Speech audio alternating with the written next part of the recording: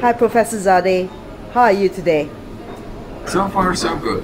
Very good. Um, I have three questions to ask you.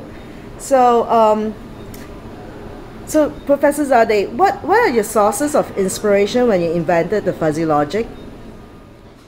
Well, what happened was, was that uh, I'm a mathematician by training. I've always been close to mathematics and to the mathematics community.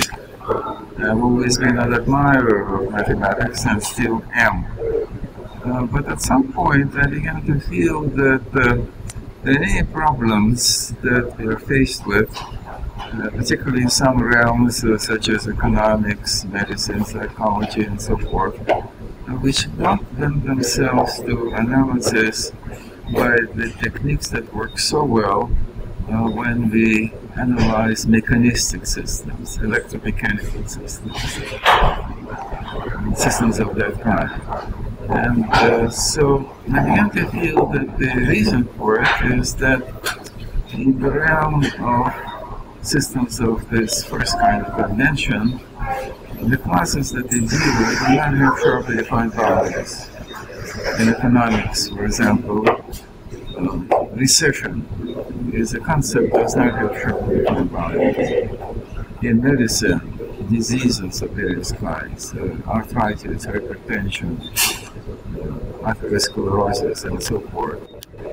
Same thing, they don't have sharply defined boundaries. So we find that, or we found that the mathematics that was at our disposal was essentially the mathematics of black and white, with no shades of gray allowed. And so the very simple idea that occurred to me at that time uh, was that what we need is the mathematics of classes which do not have sharply defined boundaries. So a class which does not have a sharply defined boundary is a fuzzy set. So a fuzzy set is described by so-called grade of membership function or membership function which associates with each element, with each point, with each um, object, the degree to which that object is a member of the class.